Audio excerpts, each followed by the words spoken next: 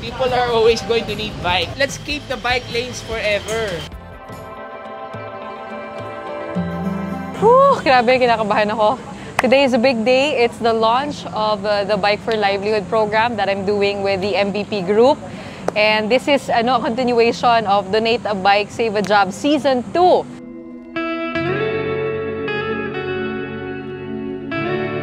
If you could provide them with the means of making themselves uh, a livelihood, whether delivering food or medicine or whatever, I think that's, that's something we should support.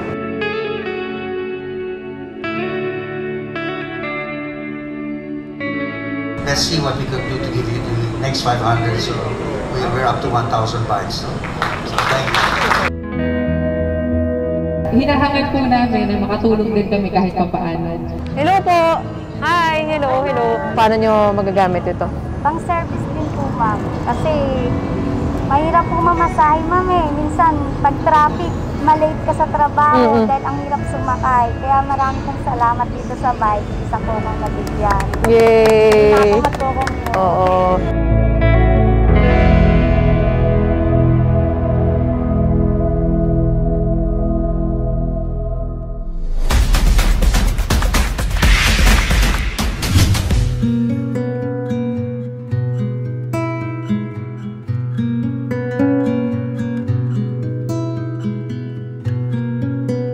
Yun siguro yung learning ko from last year. Uh, we were able to give about a thousand bicycles to 10 cities in Metro Manila, Naga, and Cagayan.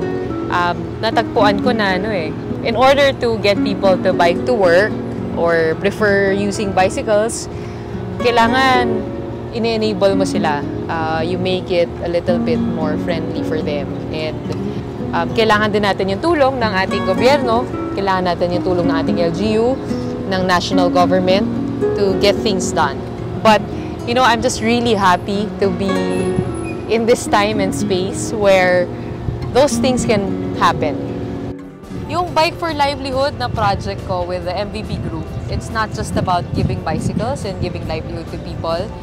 Uh, we really involve all of the companies to be able to support the advocacy. So, hinihikayat natin yung mga employees na mag-bike to work. And we will be working on the bike parking within the group um, and really getting on supporting our, our bikers. And that involves also a lot of other things eh. So I'm very proud ako kasi napaka-open-minded nila and they're really willing to support, to invest on on having a bike-friendly culture within the business. I really believe in starting in your own backyard before you're able to influence others to do the same. And that's why we're starting off with Meralco's home city.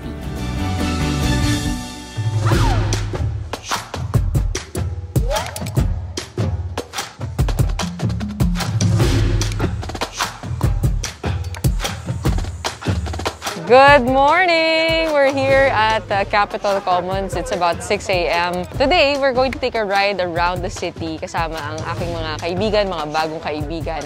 Itong Capitol Commons, common, common ito sa mga bikers na stopover kasi maluwag siya. Ang daming pwedeng kainan, meron kang bike parking. Saka, yeah, masarap dito, masarap dito mag-ride. Pero bukod dito sa destination na ito, alam ko na marami pa tayong madidiscover dito sa Pasig. Kaya iikutin natin yung buong city para malaman ano pa yung mga destination nila for riders. Okay, eto. Meron akong kaibigan. Matagal ko na siyang hindi nakita. Ebe! Ebe! ano yung... Sa pagkumpas! Ebe! Sobrang miss na kita. Uy! Pa ba yan? Dito ah. Ang haba na ng buhok niya. Sobrang tagal na namin di nagkita. Ah, mag- last kami magkasama, magkasama pa kami sa Siargao. 'Di ba? Siargao yung last, 'di ba? Oo, for a ride, for a bike ride. And ngayon lang kami nakita ulit for another bike ride. So ano, ito bagong bike mo. Tell us about this one. This was given to me by a local company. It's a gravel titanium bike. They call it a forever bike. I, I love everything about it. Like my my tires are tubeless. Kasi pag ako nagpapalit ng pag nafa-flatan ako, nagpapalit ako ng gulong. Parang naabot ako ng isang araw. So this this works. Uh, Ito yung kailan ka nagra-ride? Kasi parang alam ko, natigil ka sa pagbibisikleta Yeah. because you we were all stuck in the pandemic. Pero ngayon Correct. bumalik ka na ulit and Correct. very active ka and very fit, by the way. Ngi. Kailan ka nag, nagsimula ulit? Binigay sa akin to noong April. Oo. And then, parang, kasi I'm, I'm used to, I'm, I'm probinsyano eh. Sanay ako magbike sa probinsya, malawak yung daan. Dito maraming kotse. Kahit, kahit in this time of the pandemic, there's still lots of cars and not all of them are very kind to bikers. And now I ride siguro mga three to four times a week. That's the best thing I think about biking in the pandemic because nagkaroon ng initiative to put protected bike lanes. I love that Pasig has bike lanes. You know, I like that the local government prioritizes bikers. So it's safe. Ito na lang, best moment on the road. My first time on EDSA, kasi nag C5 na ako, so ginamay-gamay ko muna because it's, it's really close to Pasig. And then the uh, BGC, Kasi maluwag. Kasi maluwag. When I got to EDSA for the first time, I've always wondered what it was like biking on EDSA. Because syempre, traverse natin yan in cars and all. Sumisigaw talaga ako. Woo! Mga- Yung, grabe yung, grabe yung rush. Worst moment. Probably my, ano, my first day riding out. Why? Ano, I was anxious na parang, paano kung malaglag ako, parang I haven't ridden a bike in so long, parang what if I can't do it anymore. I try not to outrun or outbike people na lang, I guess. Why do you think it's worth it to do this in, in the middle of the city? Well, number one, it's cheaper than, it's safer than like trying to get a, a cab or riding the bus because the virus is all over the place. And, and then number two, it's it's a way for for people to stay healthy talaga. You know, exercise talaga yung endorphins na, na binibigay niya sa akin. Um, this bike, running, they have saved my life many, many times because during anxious moments, I just ride out. I go for a walk, I run. Saka masaya to see the city through a bike. Oo. Yun, ibang experience yun na kailangan nyo matry. And speaking of city, and dahil pinag-uusapan natin yung bike lanes nila, may papamit ako sa'yo. Si City, yung May singer, papamit ako sa'yo. actually. Ah, sir? Hello. This is Ebe. And uh, he Nice. loves riding around. Nice to meet you. bike. Nice to meet you, sir. Nice to meet you. Ano masasabi mo sa kanya? I like your bike. I like your shirt. Ito, ito, ito, isa siyang ano, leisure rider dito sa Pasig. Ito naman, Oh. bike commuter to. So, tingnan natin yung kanyang bisikleta. ano, ano yung setup ng ano, ng bike mo? Take us around. So overall, dito po sa bike ko, sinetap ko talaga siya to be a commuting bike. As in, parang everyday mo siya pwede gamitin. So number one dito sa bike ko, yung gusto ko dito, itong ah, gulong niya. Kita mo, parang very thick yung gulong niya, parang BMX. Ibig sabihin, maski lubak, maski potholes, yakang-yakan ng bike na to. So next, of course, yung batalya niya. Ah, syempre may kasabihan po, steel is real. Ah, next thing is yung handlebar po natin. Meron po tayong basket dito. Ah, bakal na basket po siya. Itong ah, basket at itong bag minsan na ino-overload ko talaga eh, up to more than 10 kilograms. So maski namamalengke po ako, parang maski bumibili po ako ng kalabasa, ng ganun, kayang-kaya po ng bike na to. And of course, yung pinaka-important, dapat may sounds ka na maganda. Ayun. Isa lang naman yung tanong ko. Mahal ba yan? Mahal ko! Mahal na mahal ko yung bike ko. Pag mahal mo, pwedeng mahal. Sana mahal ka rin ang asawa mo. Actually, mas mahal pa yung bike niya eh. Enough na ba yung bike parking dito sa Pasig to do that? Alam mo, um, feeling ko we're getting better but it's still not, uh, I think it's still not perfect. Yung, uh, yung gusto ko talaga parang ma-meet natin yung uh, almost European standards for bike parking. Dapat talaga yung dream natin dito sa Pasig, buong city mo, maski uh, saan ka pumunta sa Pasig, meron kang parking para sa bike mo. Pero pwede ba silang magsumbong sa'yo kung di sila makapark? Yes, actually, uh, actually, opo. Saan ka ba, saan ka ba makakontakt? Alam mo, parang, wa, hindi, At- hindi naman si... Anton C. An it's like, hoy Anton, parang ah, yung bike rack dito pangit. Di, di naman. Pero may, maski, even though may nagme-message sa akin ng ganun, ah, may, may ila-launch po kaming ah, reporting hotline. Kasi po sa Pasig City, ah, required po ang mga establishments na magkaroon ng bike parking. Ah. Eventually, meron din po tayong ah, automatic ah, reporting hotline na pwedeng gamitin. page. Yes. Today, kasama natin si Ebe at saka si Anton, ang transport head nila, obvious naman. Ah, kasi naniniwala ako na yung Pasig, hindi lang ito. Ito yung madalas natin nakikita. Yung Capital Commons, yung CBD. Pero there's more to this city that we can explore at dadalhin nila tayo doon ngayon on a bike. Awesome. Awesome. Okay? Okay, bukod sa aking uh, Women in Action team, kasama din po natin yung tag mga taga-Pasig. So, ulit si Anton, si Rosar, si Karen, si Ira, and si Marco. Oo, isang bike commuter dito.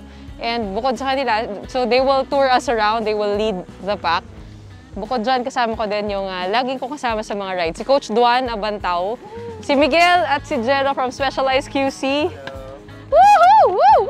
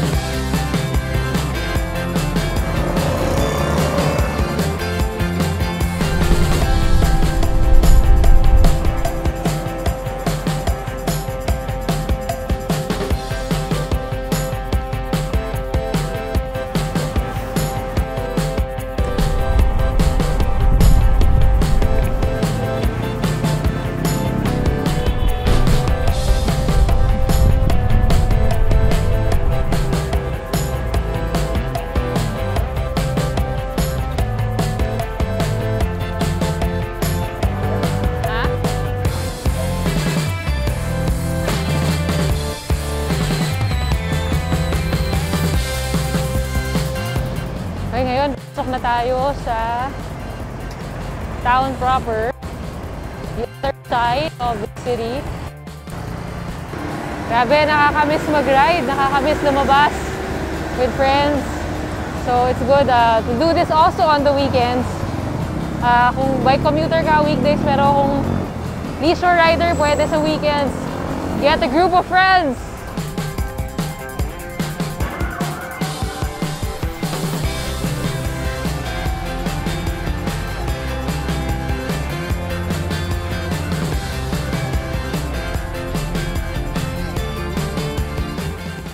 Over muna tayo dito sa oldest bakery here in Pasig, yung uh, Dimasalang, 1919.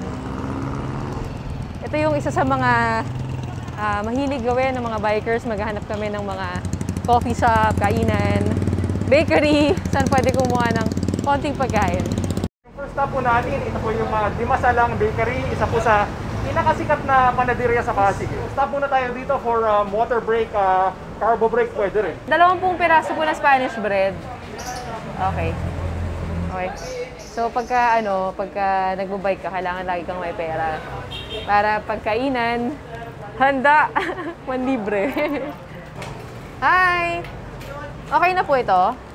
Oo. Ano ba yung sabi dun sa ano? Madeline? Ah, I love my bread, I love my butter, but most of all, we love each other. Oo. Spread love to bikers. O, di ba? Oo. I love my bread, I love my butter, but most of all, give food to other riders.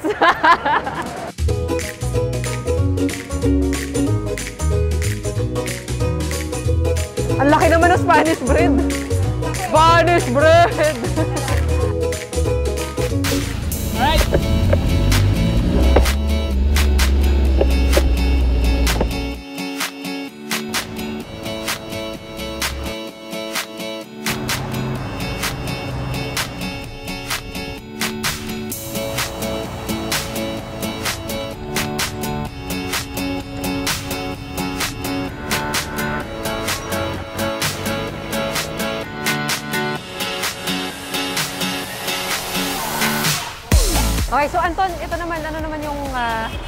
stopover na to? Ah, dito po tayo sa Pasig Mega Market. Ah, isa po sa pinakamalaking at pinakakilalang landmark ng Pasig kasi ah, yung palengke po, yung palengke po natin yung Mega Market. Hindi, hindi lang po siya palengke ng Pasig. Dinadaya po talaga siya ah, pati ng mga namamalengke na galing Taytay, galing Pateros. Itong nasa likod natin, Okay, itong nasa, nasa likod po natin, ito po yung public bike parking natin ng palengke.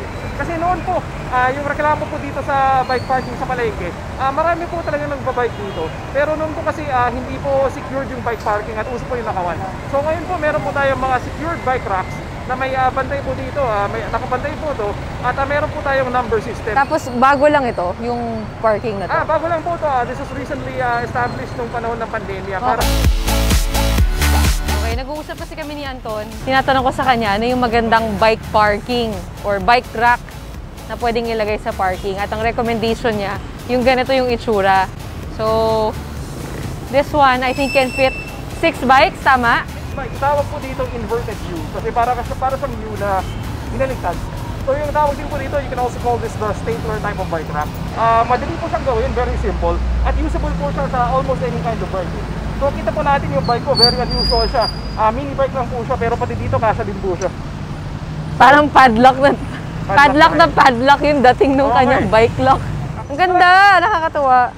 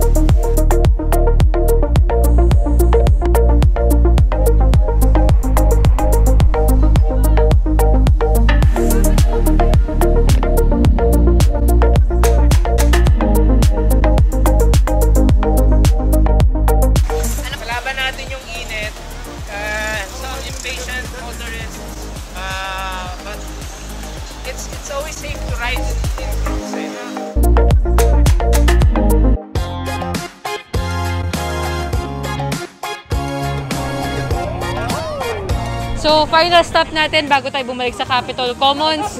Dito tayo ngayon sa Top C ni Vivian. Bakit po tayo dito? Ah, Una-una, no, ah, it's along the way. Oo. Very convenient for mga siklista yan, yung mga ganitong kainan na along the way na may outdoor sitting and masarap din. Marami siyang branches. lagi ko naririnig to actually. Yes. Excited na akong matry yung pagkain nila.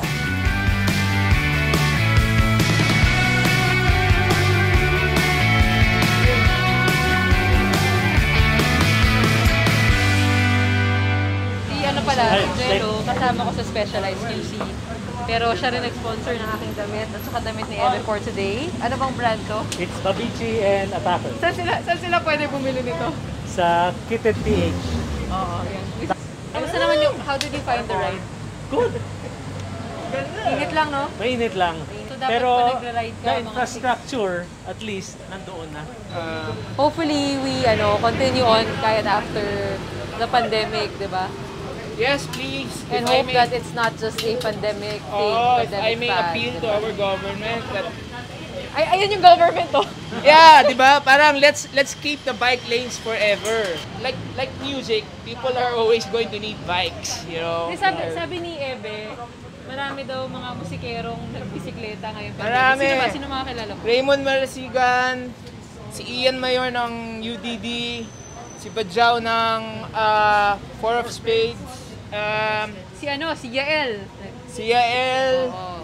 sino pa ba? Si Rico La- lang po. Lahat, nagbike yung buong bandang sandwich, nagbabike sila.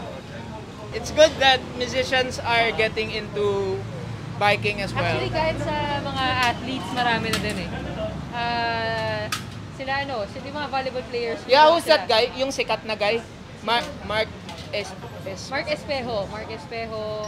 Sila John Vic de Guzman. Sila, sila Eliza may bisikleta na rin yun. You know, even a- even after the pandemic, it would be nice to keep the bike lanes. Let's True, true. Encourage more people to... We should we should have um, a, a bike ride for fun, no? Invite everybody. Oh, longer dulo. pati. Like, let's do a hundred. Here in Manila. Gra- Grabe. Karen Silva Crisostomo. And I'm a non-motorized transport specialist with Pasig Transport. Um, you know, a lot of people have asked me that, no? And it actually started with my husband. Uh, he was the one who's really into biking. And yes, the love of my life. Started, it was our first date was on bikes. I used to drive the kids to school, but at the same time, he was really always biking. But um, one of the things that uh, came to mind really was, you know, for our children's children. Kasi there was so much that was taking, ano, traffic was already so bad. Air pollution was bad. And for me, I was thinking, and for actually for us, we we're thinking, we want to be part of the solution. Everybody complains, but what are they doing about it? So for us, we were thinking, let's do our part. We won't add a car, because we do, we own a car. So people will ask kasi, eh, ba't kayo nagbabike? Ang init, ba't kayo nagbabike? So, that was one thing we wanted to lead by example. Parang kumbaga, if you talk about walk the talk, we bike the talk. Dati, ang ginagawa namin, we would actually prepare templates, a template na, uh, whether it was for a National Bicycle Day, or for bike parking infrastructure, or, you know, stuff that, anything that's related to the bicycle, we would try to pre prepare a template, and then we would give it to different LGUs.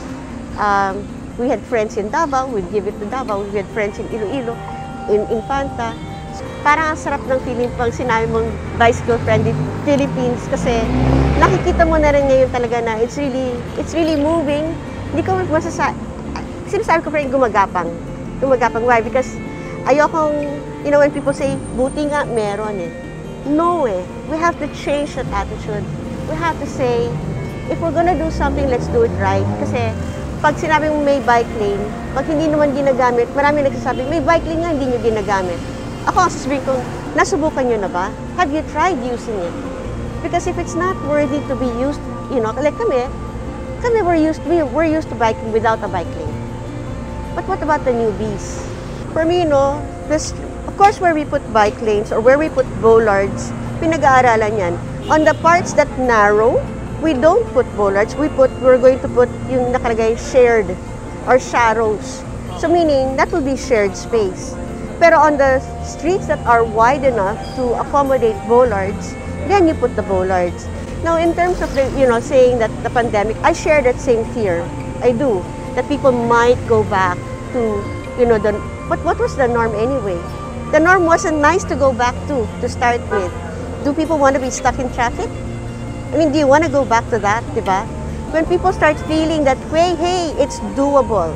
Because they see that it can be done, right? It can be done, it is possible. So I'm thinking that, you know, perhaps even after the pandemic is over, that the bike lanes will stay. And people who have started to bike to work will want to continue to bike to work because they feel good, they feel healthy. In fact, we prepared, ah. We already installed bike lanes, uh, bike racks even in schools. Para for the bike to school pag nag-open na. Naku, maiiyak ako. Oh my God, sorry. I, I get emotional when I talk about that.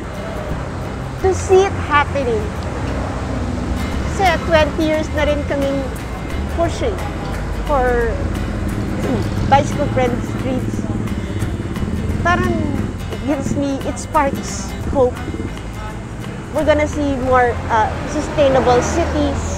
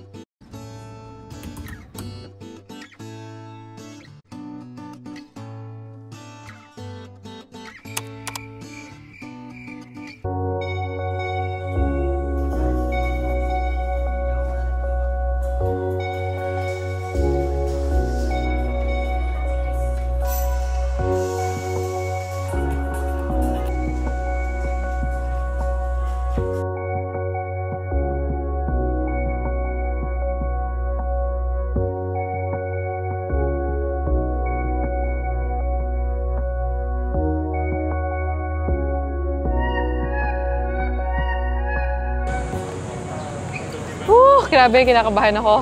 Today is a big day. It's the launch of uh, the Bike for Livelihood program that I'm doing with the MVP group. And this is ano, a continuation of Donate a Bike, Save a Job Season 2. But only now with the full force behind me. Parang Power Rangers kasama ko ngayon. Kaya ako kinakabahan kasi magsiswitch ako today. So, in front of all the bosses and gusto ko lang sabihin na three months pa lang ako dito with the MVP group and this is, you know, such a, a- such an honor for me. Sabi ko nga sa mga boss, sumuot sila ng athleisure na damit.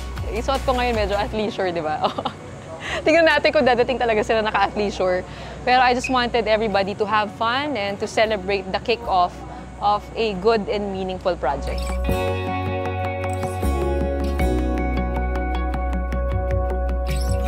Woman in action, Gretchen Holt. I also know that this is just the start of bigger things to come. Kaya, Boss MVP, pwede po ba humingi ng budget? Joke lang. Maraming salamat. Yun na po. Let's see what we could do to give you the next 500. So we, we're up to 1,000 bikes. So, so thank you. Thank you. So, magsa-start kami ngayon dito sa Pasig City kasi where better to start than in your own backyard, di ba? Dito yung Meralco, dito tayo sa city na to. And they are one of uh, those who promote active transport. We will be giving the bikes to yung four-piece recipients natin, tsaka yung mga bike lane enforcers natin. But pupunta rin kami sa ibang city. So, nandyan yung Manila, Quezon City, Caloocan, Malabon, Marikina, um, Batangas. So, dadala namin yung bikes all over kung saan siya kailangan. I could see that the your project, the biking project, was something that would help the livelihood of, of our people, no? And uh, I think you were talking only about several bicycles, and given the size of the group, that would be unfortunate if we didn't help you, no? It's, really at the end of the day, I think the the best for me, no, the best uh, solution to poverty, which is the, the basic uh, problem with with, uh, with with the economy, is, is livelihood. No? If you could provide them with the means of making themselves uh, a livelihood, whether delivering food or medicine or whatever, I think that's that's something we should support. Sir, do you want to try riding a bicycle yourself? Can I tell you a story? Okay. So when I was based here already, I came back from Hong Kong after several years. I said, you know, one of the things that I miss is learning how to bike, you know, because I, I didn't when I was young. And so uh, I, I invited a colleague at work to say, where can I buy a bike? I said, I know the place. Come with me, let's go to Cartimar.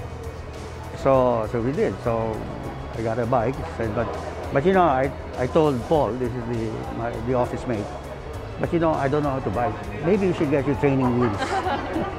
so yeah, I think, I think so. So these are the two.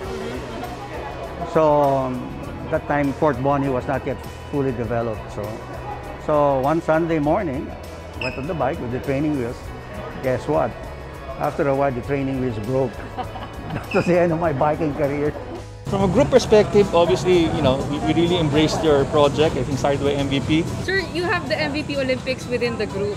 Yes, Is yes. there a chance for us to have uh, biking communities? Kasi inirit sa akin yan ng Paymaya eh. A lot of people, I'm sure, are also into biking, especially now that during the pandemic, parang it increased the level of interest in biking. So yeah, I mean, we should put it, include it in the MVP Looking Olympics. forward to seeing you on a bike again. I will, again.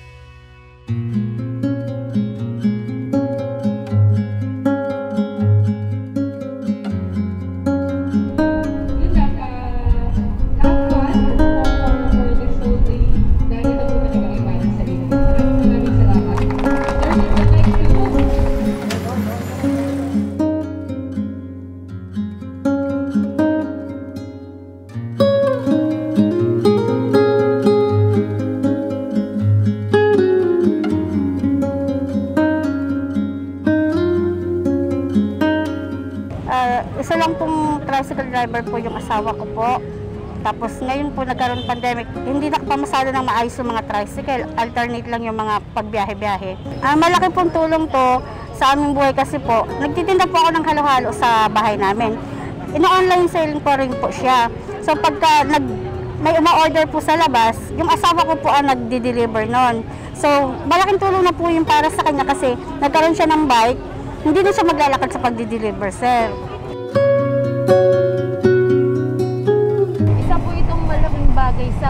Lalo na po sa transportasyon.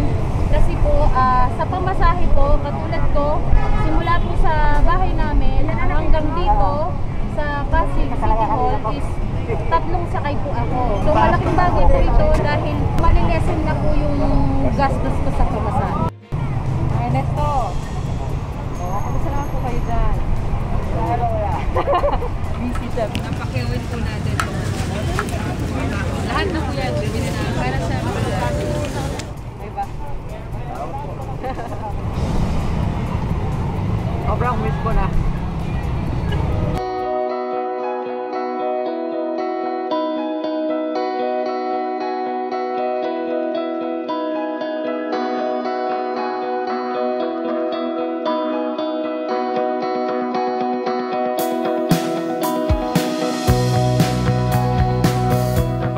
programa na ito. No? I, I- think ang isa sa nakita natin sa panahon ng pandemya ay ah, tumaas yung ah, paggamit ng mga bisikleta, alternative ah, forms of transportation.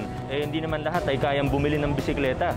So kami habang ah, gumagawa kami ng mga bike lanes, bike ah, parking, ang, ang nakakatuwa na may mga nagdo-donate ng bisikleta katulad nito dahil ang daming natutulungan.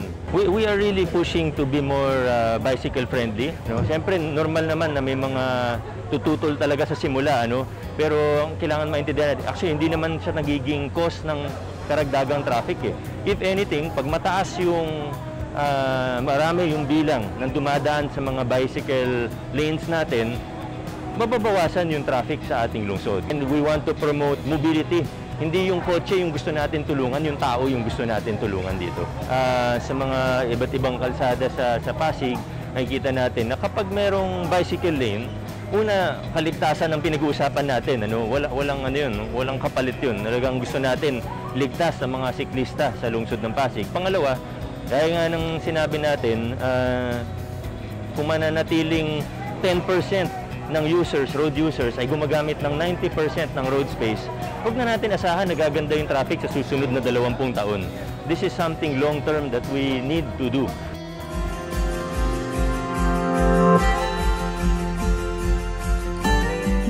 Hi, hello, hello. Pwede bang ano? ah, o ano, ano, kayo po, ano pong ano nyo? Anong trabaho po ninyo? Nagtitinda po ako sa likod ng notebook. Vendors po, sidewalk vendors. Ah, sidewalk vendor. O, paano po magagamit itong bisikleta? Pag bumili po ako ng, halimbawa kuha po ako ng, sa bahay ng pagkain, tapos sasakay ko po dyan. Ayun, ready ka na? Yes, ma'am. Pwede ka rin mag-grab, oh. Yes, Oo, kayo naman po, paano nyo magagamit ito? Pang service din po, ma'am. Kasi mahirap po mamasahe, ma'am eh. Minsan, pag traffic, malate ka sa trabaho Mm-mm. dahil ang hirap sumakay. Kaya marami pong salamat dito sa bike. Isa ko mang nabigyan. Yay! Nakakapag-commute. Oo. Oo. Ito naman po, ay saan nyo magagamit? At ba't ito yung pinili ninyo? Ito po, dito po, nagtitinda po ako ng tinapa. Nagtitinda kayo ng? Tinapa. Tinapa. So, nagpo-construction kayo, nagtitinda rin kayo ng tinapa. Paano nyo napagsasabay yun? Sa ano po, sa gabi. Ha? Sa gabi po. Sa misa-misa lang po yun, pagkita ng. Ah, sideline. Oo. So, ito pang-deliver ninyo. Maraming Sa... salamat po sa bisikleta po.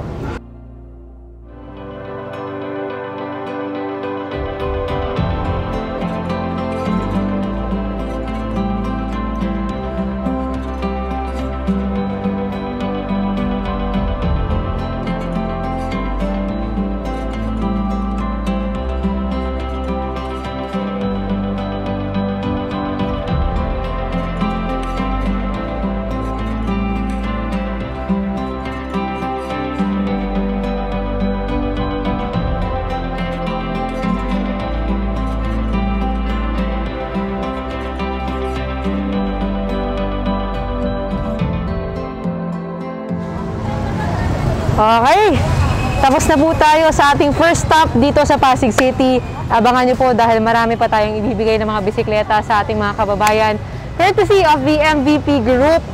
Maraming salamat Boss MVP at saka sa mga kasama natin na executives. And uh, excited ako na ma-meet pa yung iba pang mga mabibigyan natin. Kaya tutok lang kayo! This is Bike for Livelihood. Bye!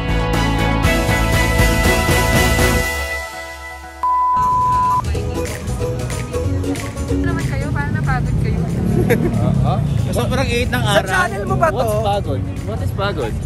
What is Yan- pagod? Yan ang boy in action.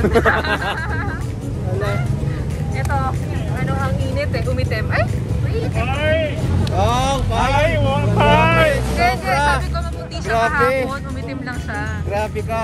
Lahat ginawa ko Carlo. para sa'yo. Carlo, Sabi mo Carlo, welcome. Ano masasabi mo? Please like and subscribe to Gretchen Ho's channel so we'll have more money. Pagod na kami, pero thank you. Like and oh, subscribe. It was so much fun. It was so hot. diba? But it's an experience, an experience to go around. Right? One, two, three! I still believe in ever after with you. Ayoko na!